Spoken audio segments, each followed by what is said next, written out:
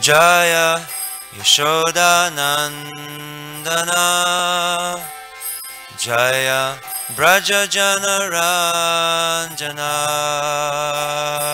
Jaya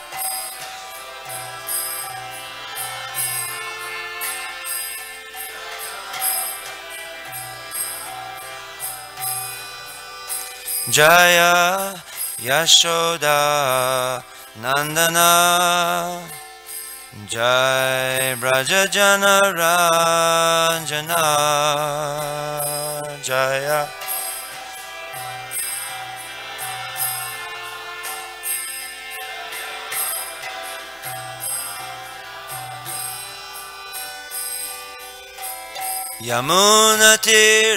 यमुनतीरवाणचारी Jaya Kunjbihari Jaya Kunja Bihari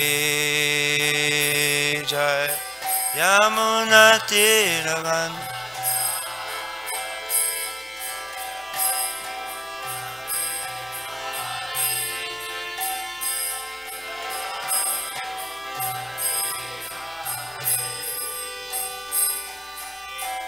Yamuna Tiravanachari Jaya Kunja Bihari Jaya Kunja Bihari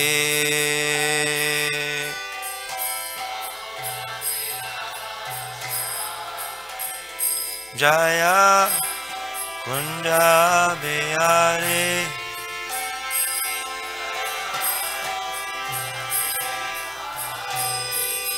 Jaya Radha Madha जय कुञ्ज विहारे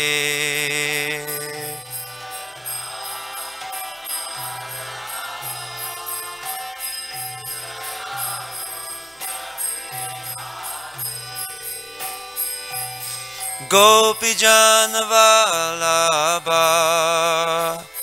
Jaya गिरिवादारी Jaya गिरिवादार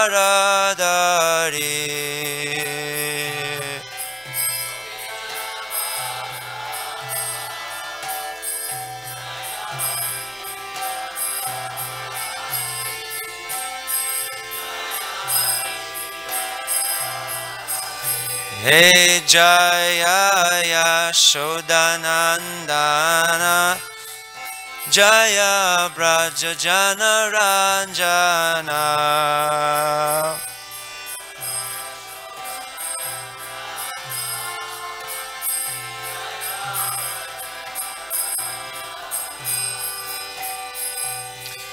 Yamuna Tiravanachari Jaya Kunja Bihari Jaya Kunja Bihari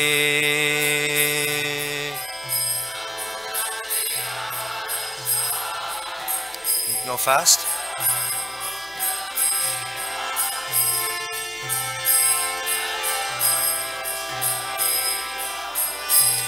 Hey Jaya Radha Madhava Jaya Kunja Bihari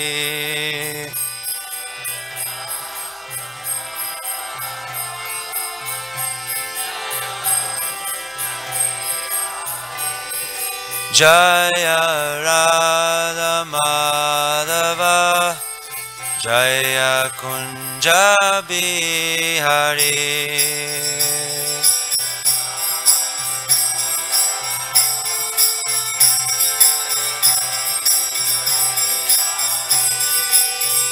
Jaya Radha Madhava Jaya Kunja Bihari Jaya Radha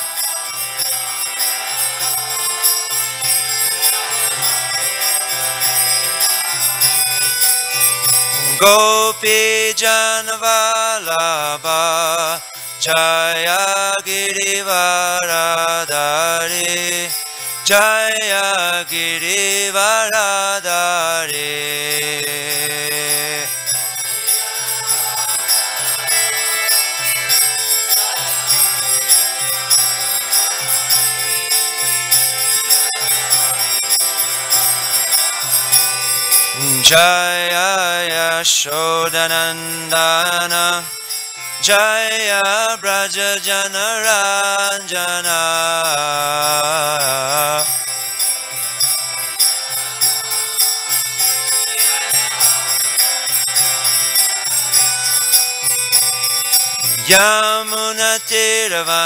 Yamunatiravanachari Jaya Kunja Bihari Jaya Kunja Bihari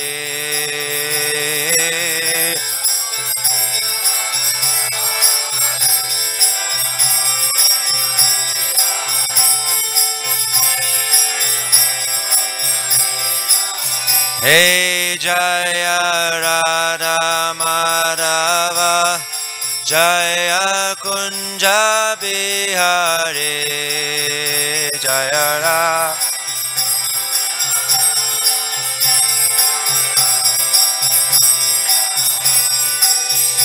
Hare Krishna, Hare Krishna, Krishna Krishna, Hare Hare, Hare Rama, Hare Rama, Rama Rama, Hare Hare.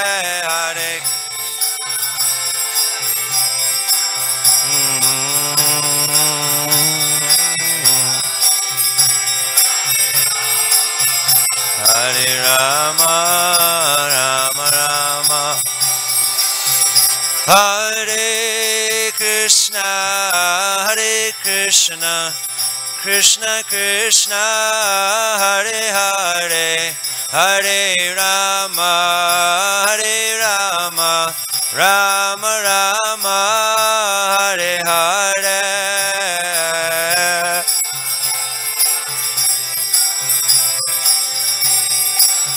Hare Hare Hare Rama Hare Rama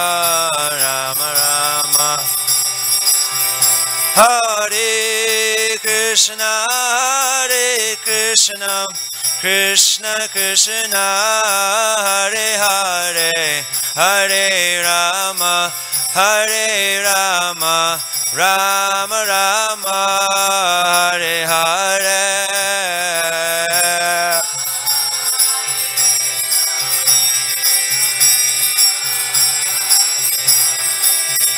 Hare Rama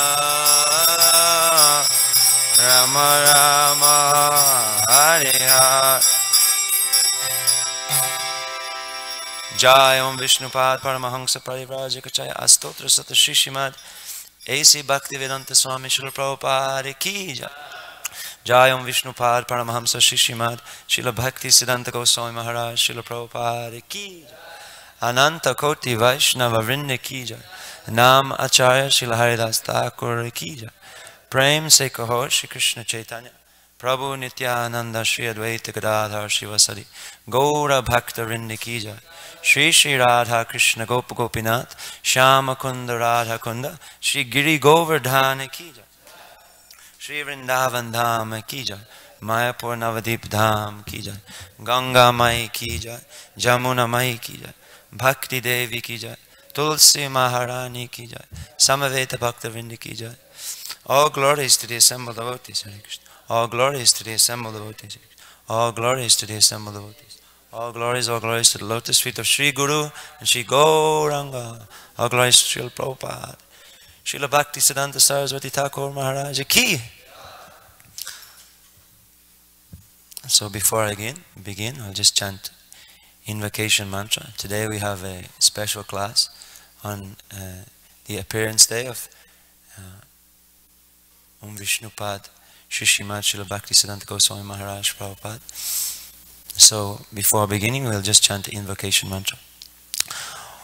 Om Jnana Timirandasya Jnananjana Shalakaya Chakshurum Militam Yena Tasmai Shri Gurave Namaha Shri Chaitanya Manobishtam Stapitam Yena Bhutale Swayam Rupa Gata Mayam ददाति स्वापदन्तिकं। वन्देऽहं श्रीगुरो श्रीयुतापथकमलं श्रीगुरून् वैष्णवंश्च। श्रीरूपं साग्रजातं सहगना रगनातं वितं तं सजीवं। साद्वैतं सावधूतं, परिजनासहितं कृष्णचैतन्यदेवम् कृष्णचैतन्यदेवं श्रीराधा कृष्णपादं सहगना ललिता श्रीविशाखान्वितंश्च हे कृष्ण करुणसिन्धो दीनबन्धु जगत्पते गोपेशा गोपिका कान्त राधाकान्त नमोऽस्तु ते तप्तकाञ्चन गौराङ्गी राधे वृन्दावनेश्वरि वृषभानुसुते देवी प्रणमामि हरिप्रिये वंशकल्पतरुभ्यश्च कृपा सिन्धुभ्येव च पतितानां पावनेभ्यो वैष्णवेभ्यो नमो नमः।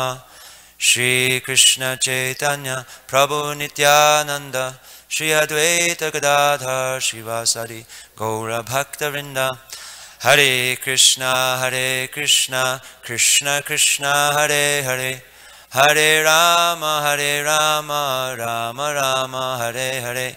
Hare Krishna, Hare Krishna, Krishna Krishna, Hare Hare. Hare Rama, Hare Rama, Rama Rama, Hare Hare. Hare Krishna, Hare Krishna, Krishna Krishna, Hare Hare. Hare Rama, Hare Rama, Rama Rama, Hare Hare. Hare Krishna. So I'm very grateful for this opportunity to um, meditate and to share some of the achievements, the glorious events in the life of Srila Bhaktisiddhanta Saraswati Thakur. Uh, alone, uh, uh, we are not powerful enough to glorify the devotees.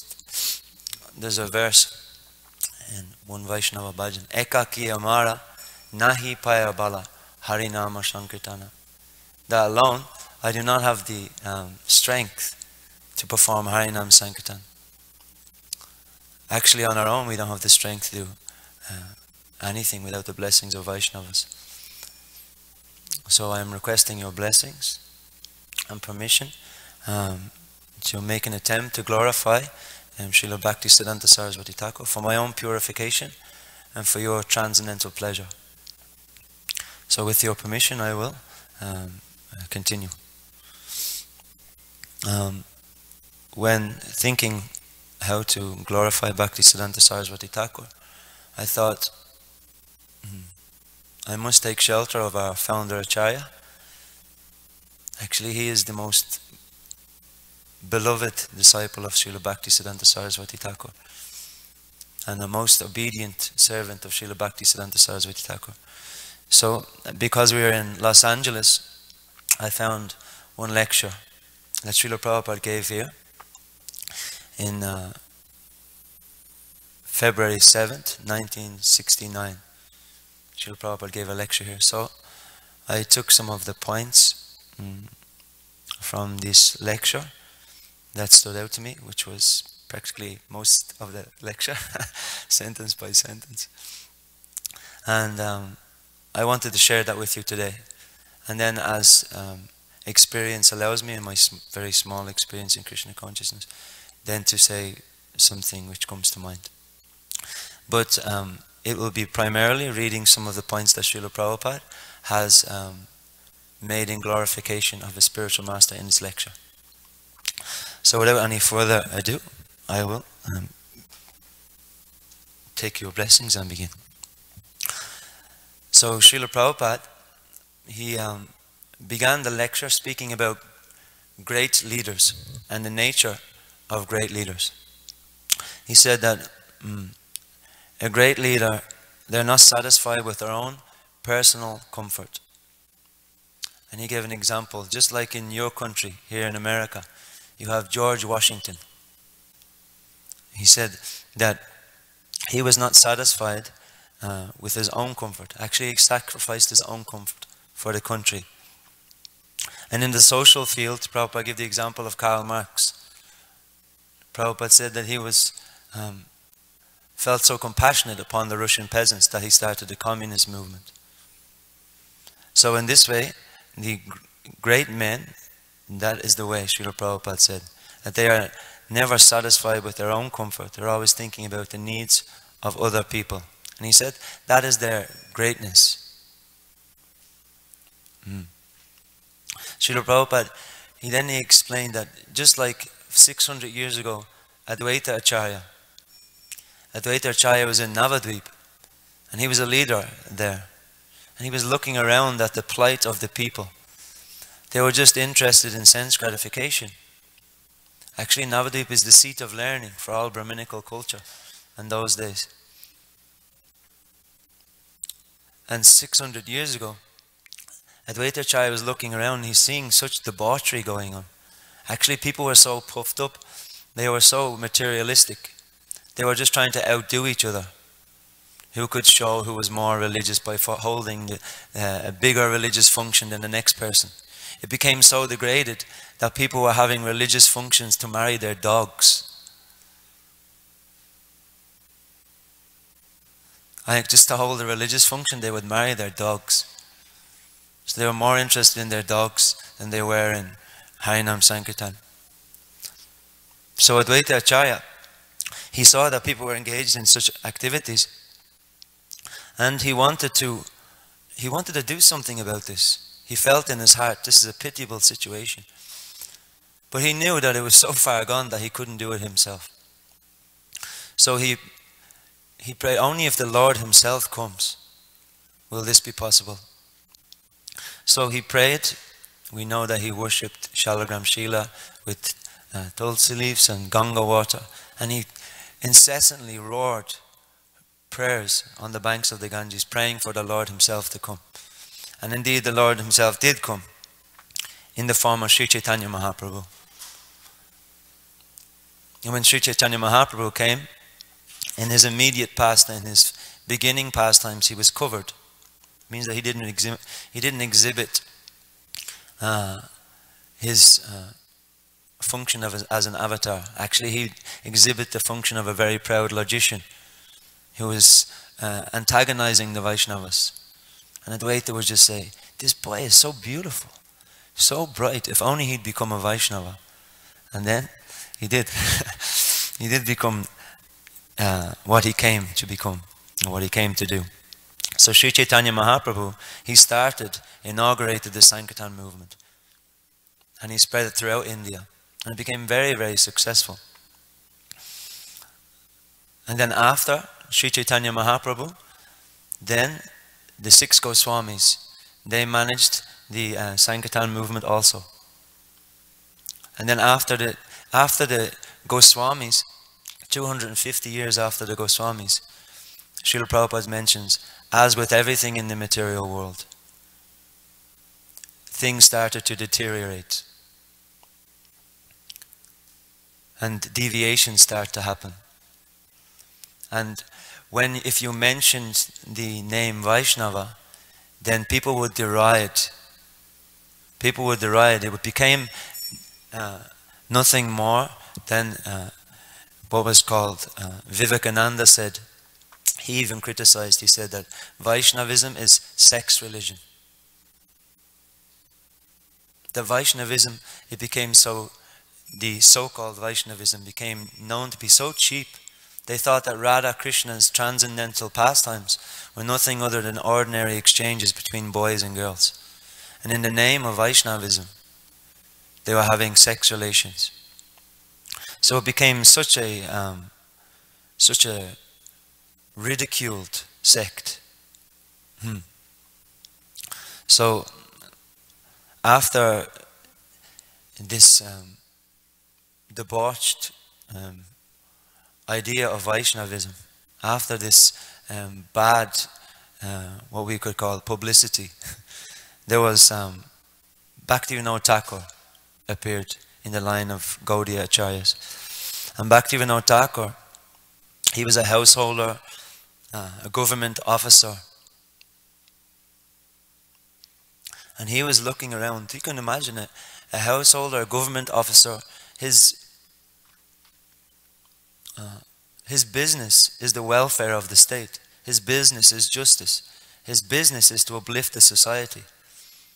And he's looking around and seeing something which is so dear to his heart, something which is so pure, something which can save the entire world, if even a mentioned in society, in society, is ridiculed because of this mm, improper uh, deviations and improper presentation of Vaishnavism. So he, he felt very strongly that this had to be uh, redeemed. Srila Prabhupada mentions in that lecture that um, there are 13 pseudo Vaishnava sects. There, are, uh, he names them, Prabhupada names them. Who can name one of them? Anyone can name one of them? Owls? Not owls that fly in the sky. owls? Bauls, yes. Actually, I'm just reading Mukunda Maharaj's book, Miracle on Second Avenue. Who's read that book? Please, if you could. This I highly recommend. It's just so much nectar. Actually, it's full of bliss and it's full of Srila Prabhupada's love for, for all unconditioned souls. And in that book, when Srila Prabhupada's disciples went to San Francisco, they did the mantra rock dance. So then some of these um, Bauls, they showed up. and they came to the second, uh, they came to the um, Haight-Ashbury temple, the temple that was there. What was the name of that storefront? Where was it? What road was it on? Okay, Frederick Street, yeah. So um, they came and they visited there. And the devotees noticed that although they were Bengali, they were very different from the Swami. the Swami, Srila Prabhupada, he was, um, of course, he was pure. But when they came, they had long permed hair, orange robes. One of them was carrying a poodle and brought it into the temple. And they were very extravagant and very licentious. And they were just there for performing, just there for doing music, Indian music. So even they were uh, showing up in Prabhupada's pastimes. So the owls, the Bauls, another one was Karta Baja and Neda. There's Dharavena, Shuni. Srila Prabhupada commented in this lecture that they are present in London at that time in uh, 1969. There is the uh, Shaki Beki. Who is, knows what the Shaki Bekis are? Shaki Beki? Yeah, if you go on Indian train, you will see.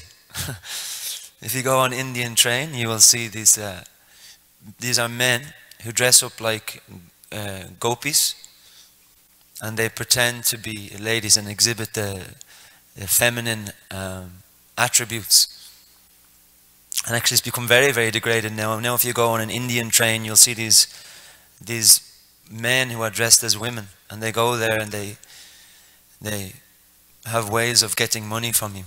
They, yeah, take, take, take care on Indian trains. but these Shaki Bekis, they are dressing up as women, but they're men. And they're thinking that this is a spiritual practice, actually. Then there's the Gauranga Nagari, there is Chudadhari and uh, Ativadu, and then last but not least, the Smarta Brahmanas or the Jati Gosai. So Srila Prabhupada says there's 13, and if I have to name 13, it will take 13 hours. so he said, I'll just take uh, one or two. And of the most important, he spoke about uh, Jati Gosai. So he explained that this Jati Gosai is the caste Brahmanas. And um, this caste Brahmanas, actually, uh, Goswami lineage, they have this understanding that just by birth, that one can become uh, a Brahmana. Just by birth, one becomes a Goswami. But in actuality, this is, we know this is not the case, and we'll hear later on that how Bhakti Siddhanta Saraswati Thakur played a role in transforming this idea. They, uh, they took this, this Jati Gosai, they took this idea that just by birth, one can become a Brahmana. And they created a whole movement out of this um, uh, idea. But originally there were six Goswamis that were empowered um, by Sri Chaitanya Mahaprabhu. First there was Rupa Sanatan, Raghunath, and then and Jiva Goswami, Raghunath Bhatta, Raghunath Das, uh, Jiva Goswami, Gopal Bhatta. So these were all directly or indirectly empowered by Sri Chaitanya Mahaprabhu. And these six Goswamis, they were not, uh, they were coming from, some of them are coming from Mohammedan backgrounds or Mohammedan influence backgrounds. And they were um, saved and elevated by the mercy of Sri Chaitanya Mahaprabhu. And they were empowered by him. And they were raised to the standard of uh, Goswami. For those who don't know, Goswami is a, a title given to someone who is um, fully in control of their senses. Go in Sanskrit means senses, and Swami means master. So someone who has the ability to fully control their senses and use their senses in the service of the Lord, they are given the title Goswami. They are acknowledged. This person is sense-controlled servant of the Lord. Now these, this other category, they call Jati Gosai. They were thinking, just by being born with the title Goswami, then I am a saintly person. So this is cheating. This is cheating. It's by quality and not by birth that one is a Goswami.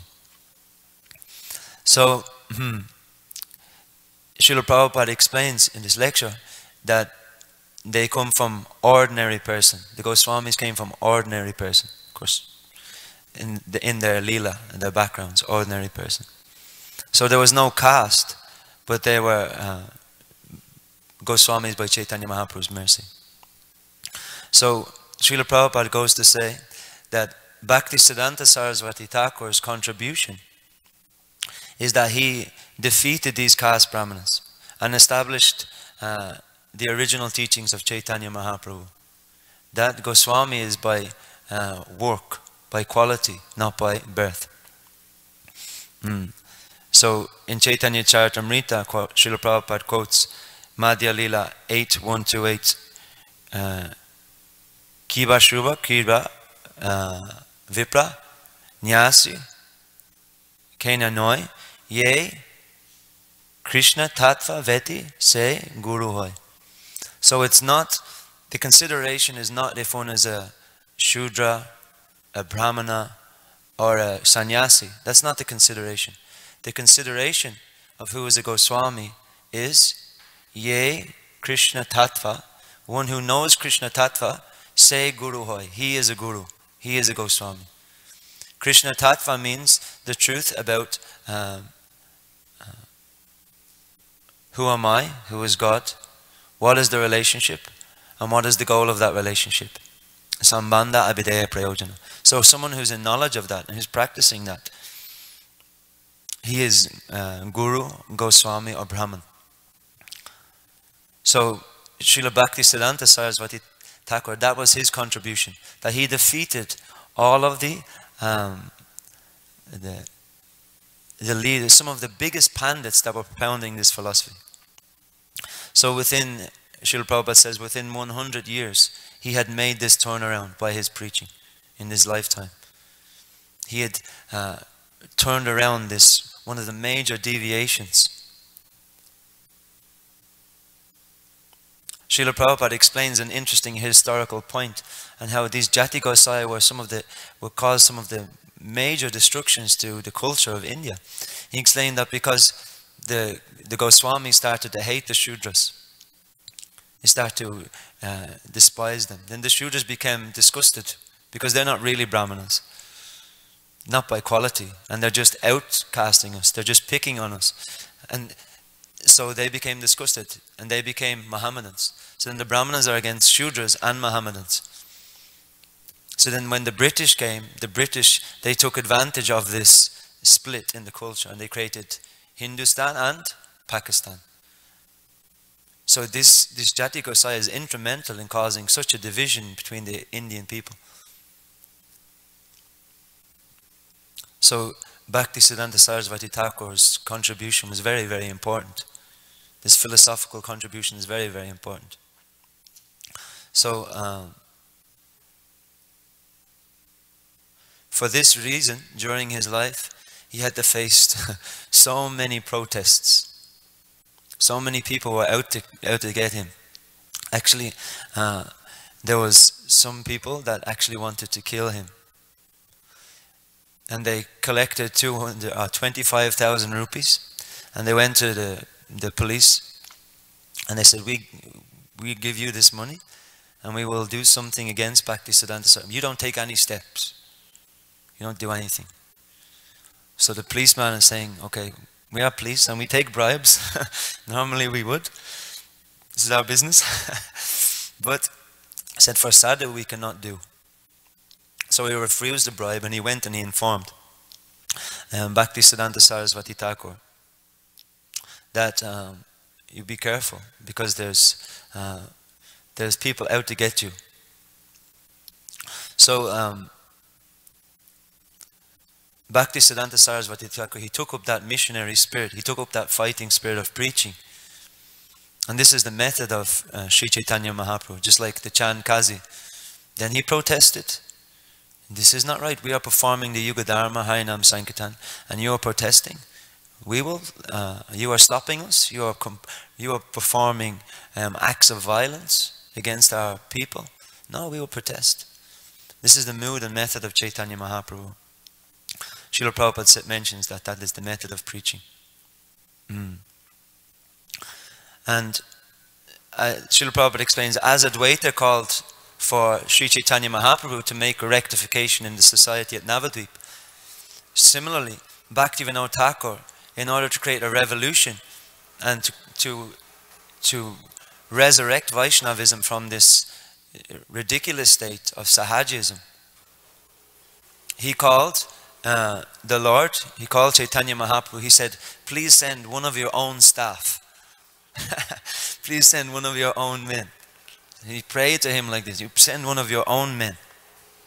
So, uh, mm, by the grace of Sri Chaitanya Mahaprabhu, uh, Bhaktivinoda Thakur gave uh, his wife, gave birth to uh, a son on 7th uh, of February.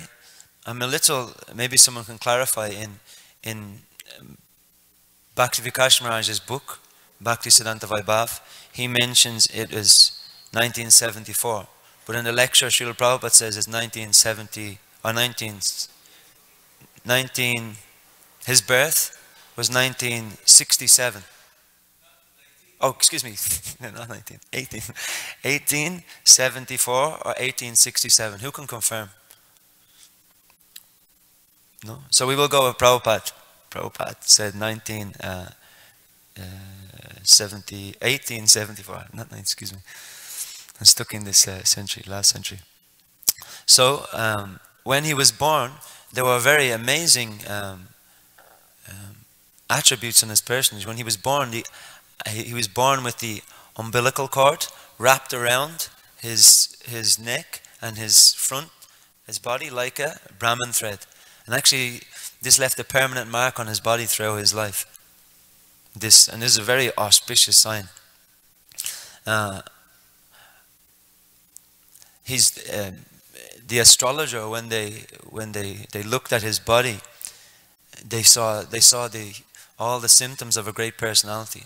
We know that when Krishna was born, also these symptoms were there 32 signs. The astrologer saw all 32 signs on his body.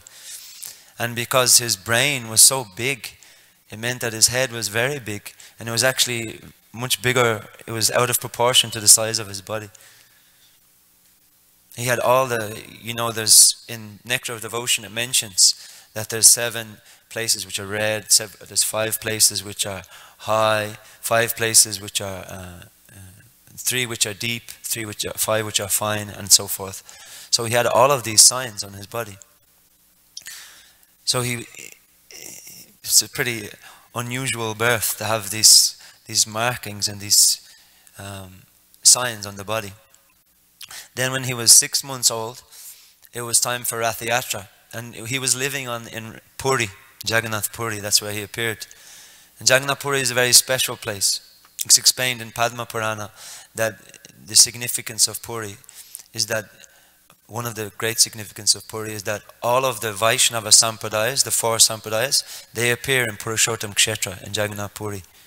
So it's very, very important for Vaishnavas. So in, in Jagannath Puri, on the Grand Road, where Lord Jagannath has his Rath Yatra procession annually, um, Bhakti Siddhanta Saraswati Thakur was living a quarter of a mile up the road from Jagannath Temple. So six months, five months to six months after uh, his birth was time for Rath. And usually the Rath cart rolls nicely up the street, but it stopped for three days. Where did it stop? Right outside his house, Bhaktivinoda Thakur's house. Right outside his house. So Bhaktivinoda Thakur took a, um, advantage of this, being an important man in the society and being the wife of a manager. Uh, is Bhagavati's, is Bhaktivinoda Thakur's wife's name, I believe. She took uh, the child, who is named Bimala Prasad. They took him time and put him at the feet of Lord Jagannath. And then as they put him at the feet of Lord Jagannath, he, it's explained that he was reaching out for the feet to touch. And then the garland fell. The Lord is carrying so many garlands. And one garland fell and onto the, the baby. And Bhakti Thakur said, this is, this is a sign. There's too many signs. So he, he, he saw that I have prayed to the Lord and this is a sign. And he took very great care of this child. Throughout his life, he, he, uh, he watched him. So, um, there are many notable things throughout his childhood. One pastime is when he was between three or four years old, um, he, um, he came across a mango and uh, he, he started to eat the mango, but he didn't realize that the mango wasn't offered. It wasn't prasadam.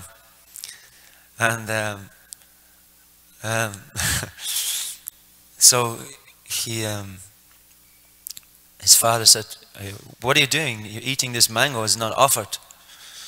And, um, and he realized that the mango wasn't offered and he, he felt so bad. He made a vow that from now on I will never eat mangoes. And for throughout his life, he, he kept that vow, never to eat mangoes. I'm laughing because we had, in London, we had one brahmachari, and he, he was very, um, very fond of burfis. So uh, one day he went into the pujari department when no one was there. All the pujaris were downstairs on the altar. So he thought he would take an opportunity to go and steal the, steal the burfis.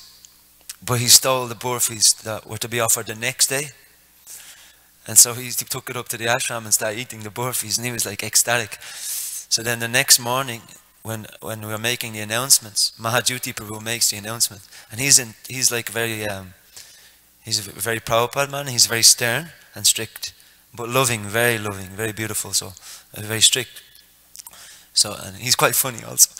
So he said, somebody has stolen Krishna's burfis, and then you look around the room and said, and they were not offered. And you look around the room and everybody's like, who would do that? And there was one bright red face in the room and it was so obvious. So my friend, he vowed never to eat burfis again for the rest of the day. so I'm reminded whenever I hear this pastime, I have a practical example of such an uh, experience. So Bhakti Siddhanta Saraswati Thakur, he was such a personality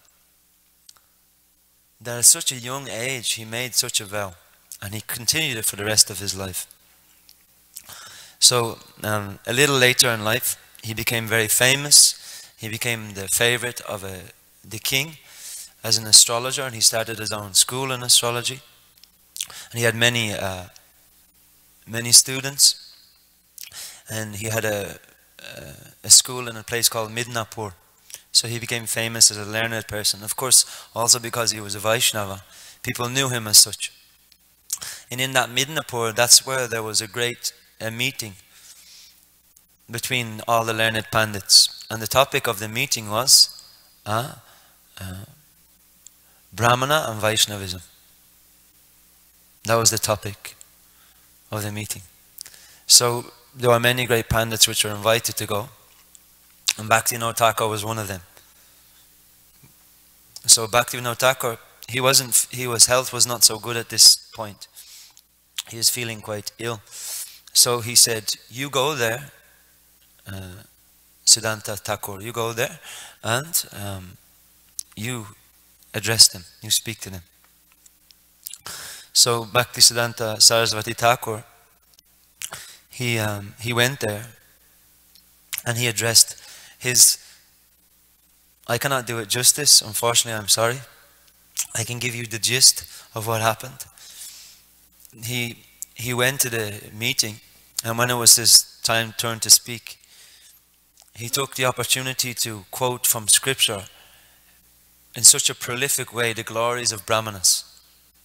And they're all Brahmanas. The rest of the, most of the assembly are there to hear, to establish that Brahmana is higher than Vaishnava and to discredit Vaishnava and to uh, once and for all establish that the Brahmana, the Jati Gosai, smarta Brahmanas, are the, uh, uh, the uh, superlative human beings. that these are the uh, epitome of a human is a smarta Brahmana. That's what wanted to be established there.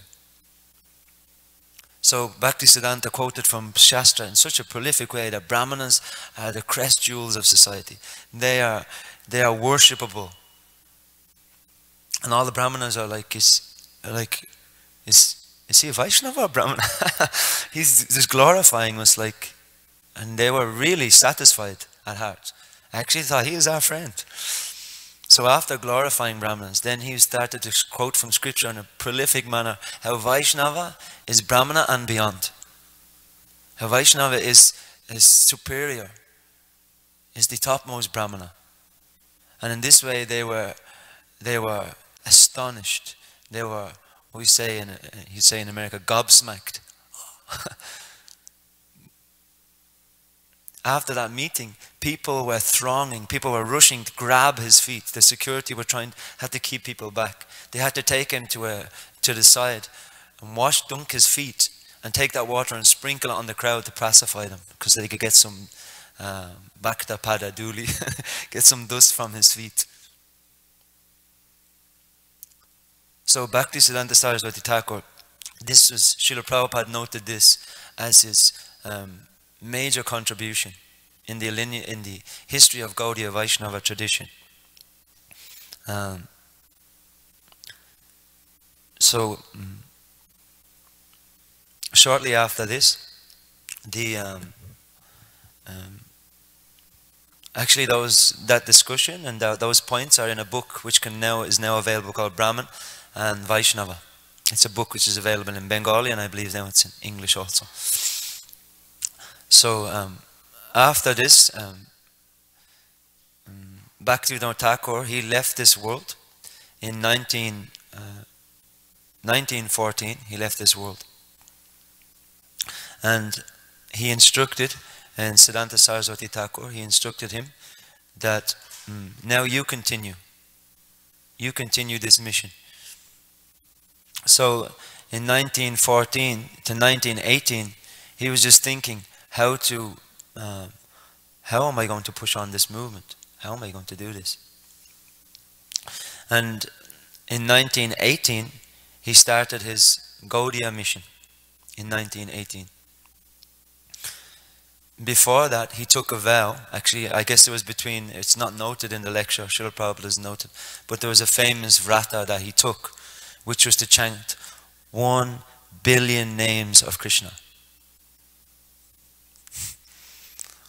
Yeah, that's correct. One billion names. That was his vow.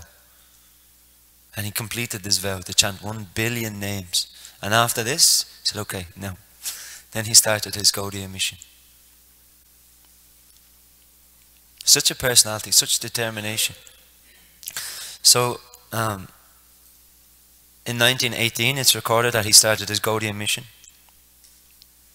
And um, in 1922, another notable occasion was uh, one, one young um, student was dragged to his uh, assembly by a friend in 1922, and that was his name was Abhay Charan.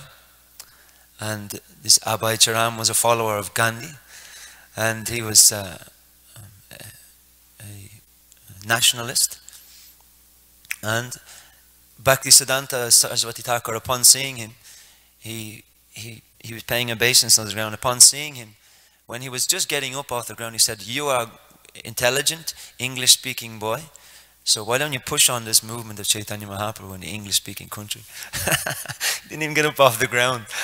And then Abhay Charan, he began to uh, protest. But who will listen to India's message while they're under British rule?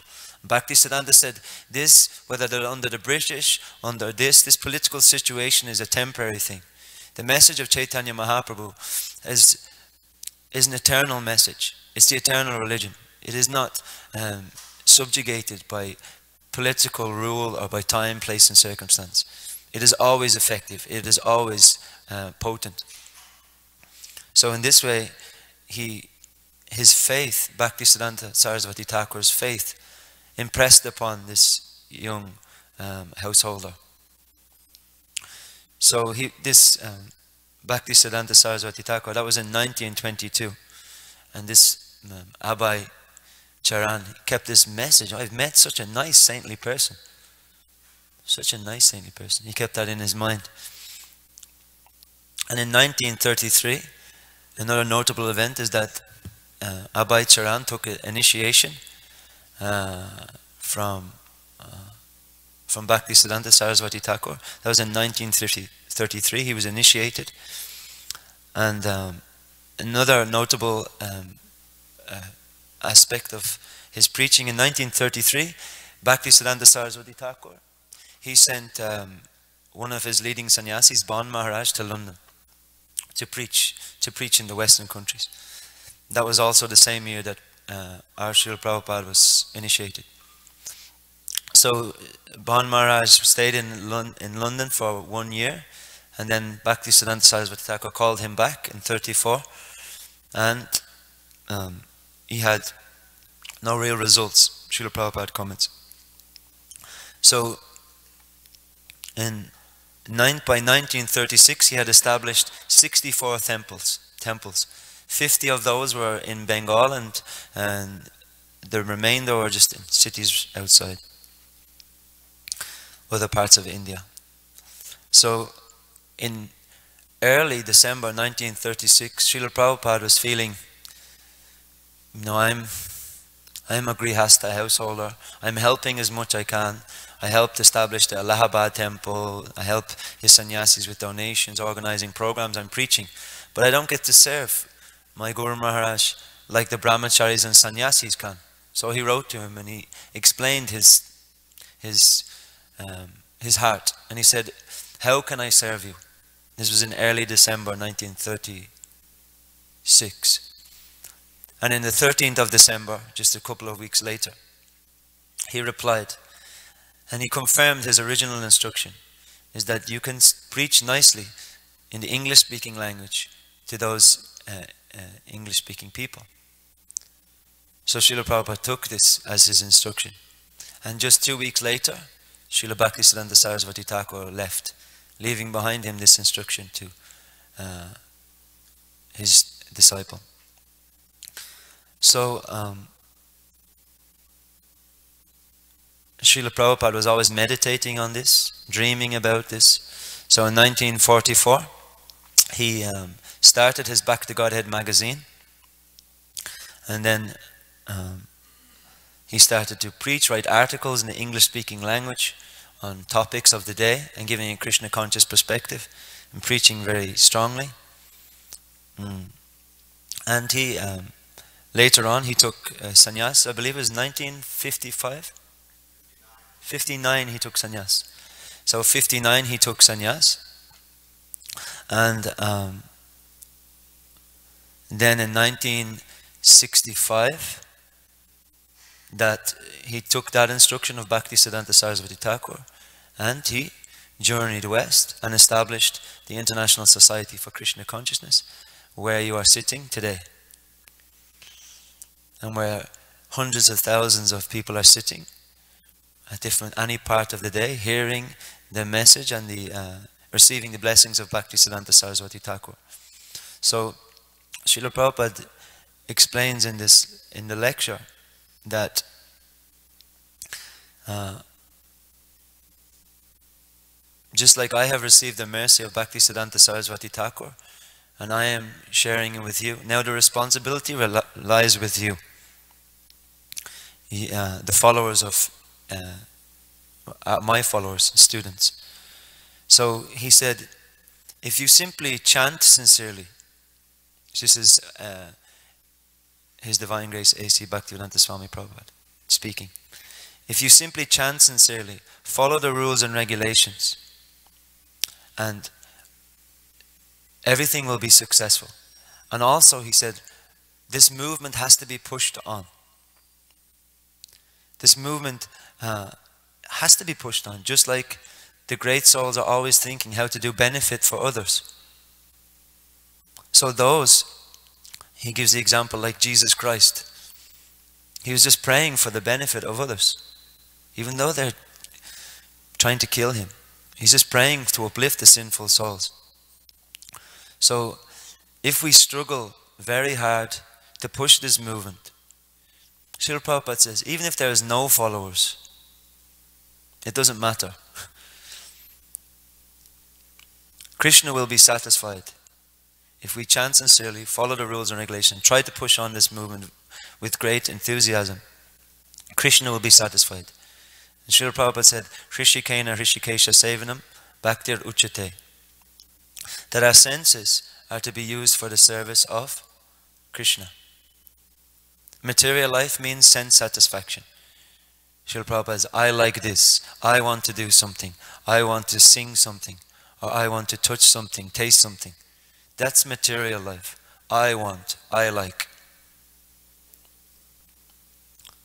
Srila Prabhupada said, we don't stop uh, doing, we don't stop tasting, touching, but we just do these things in Krishna consciousness. We use our senses for Krishna's pleasure. And even if others don't come, he says, uh, you try for Krishna consciousness. You try to push on this movement. That is your business.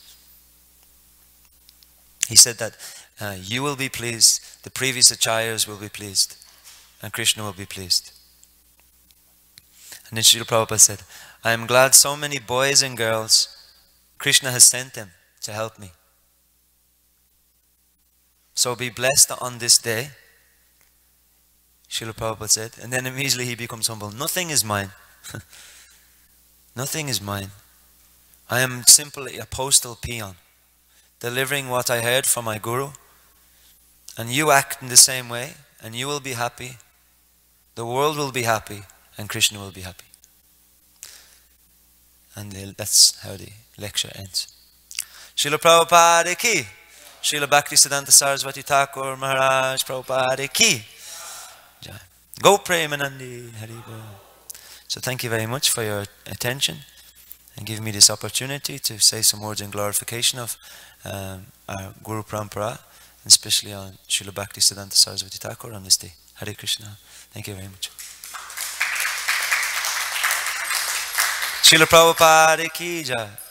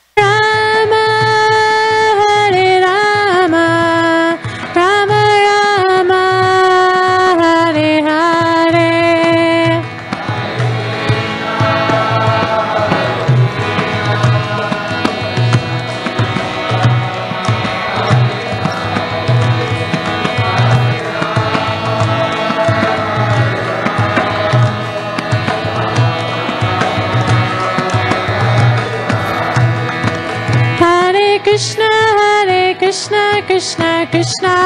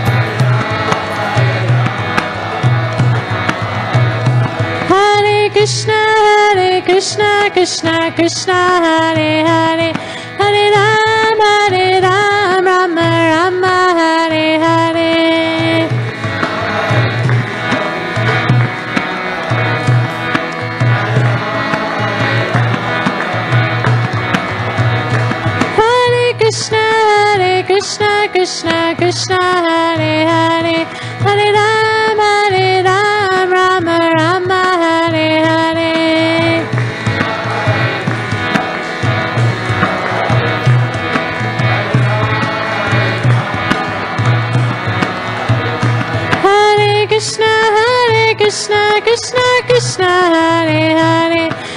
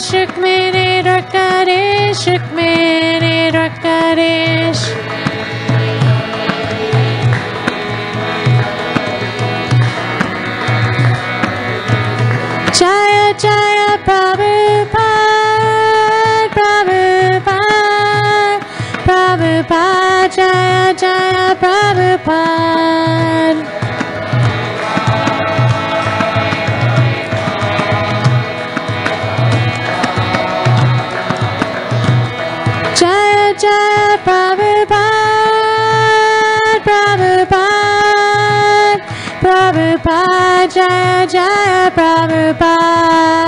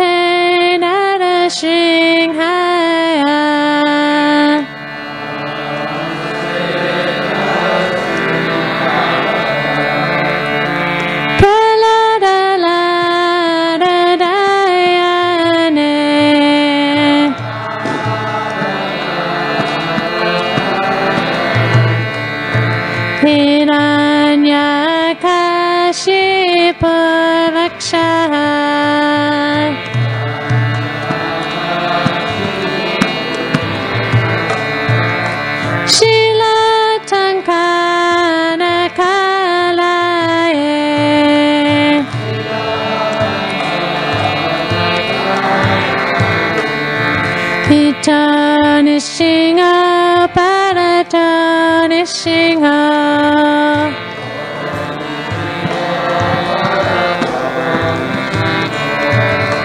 やっとやっとやみたたねし